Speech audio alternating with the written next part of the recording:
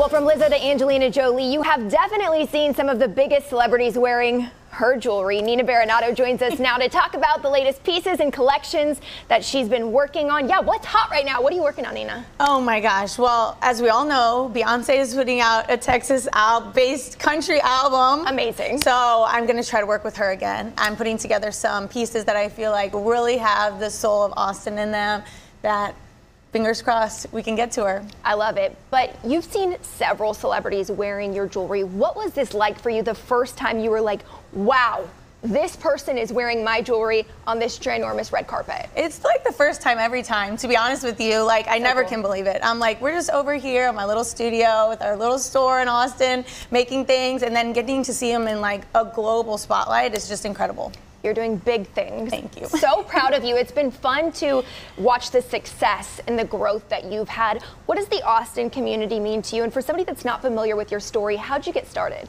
So I actually got started as an apprentice to another jewelry designer. It was just a woman that took me under her wing and this month, as we're celebrating Women's History Month, it just reminds me how much the women of Austin and just women throughout my life have really come to support me and been the reason I've been able to grow. You've been such a cheerleader for women. That is kind of where you got started, like you just mentioned, but you're doing something for International Women's Day. How can people support, join in, and uh, continue on this? Right. If you come by the store, we're going to have these special pieces that I call the goddess pieces that are really made to make women feel extra powerful. I'm actually wearing one right now. Love. It's one of those things where you just kind of hold it in your hands and you feel a little like zap of electricity and you're just surrounded by this warmth of other women supporting you. Um, they're all going to be discounted on um, International Women's Day, which is actually March 8th. In the stores and online, 30% off for all of the goddess pieces. What's the inspiration for your jewelry?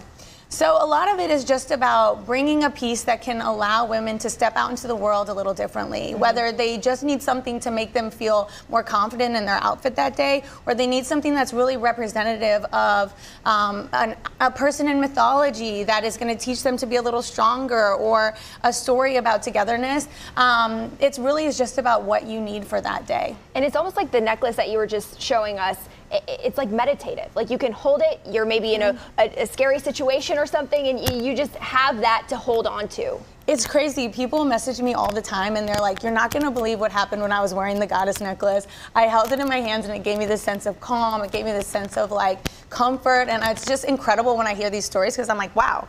It makes me realize as a designer, I have a bigger purpose, and that's really what it is. Absolutely. So cool. Okay, last time we talked, you were working on a two tone collection, silver and gold. What's hot for spring? Are we still going to be seeing a lot of silver and gold? Because I love that. Well, first of all, pink is hot for spring. Oh, look at us. we didn't even plan this. You heard it here first. Pink is the color, apparently. I love it. But two toned is 100% still in. If we go back to um, Beyonce's country album, you're going to see a lot of silver. She's been bringing silver back into the spotlight.